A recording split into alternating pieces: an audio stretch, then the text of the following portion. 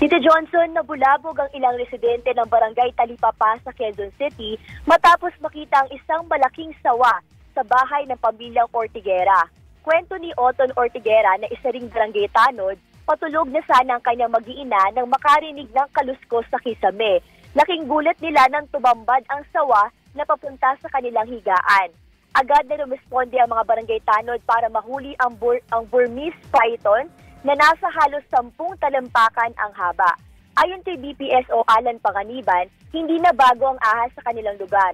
Sa katunayan, ito na ang pangatlong sawa na nahuli nila ngayong taon.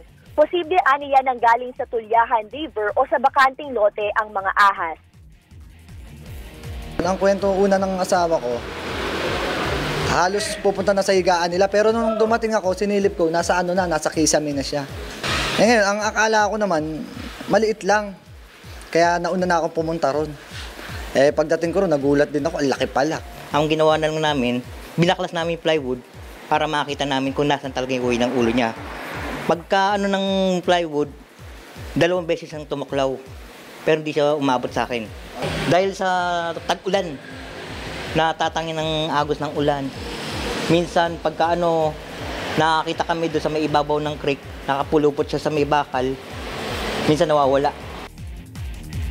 Tito Johnson, ilagay pansamantala sa sako ang sawa na agad naman din iti-turn over sa wildlife o sa DNR ngayong araw.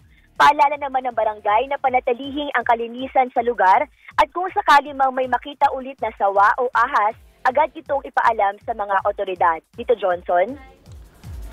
Maraming salamat Karen Di Guzman.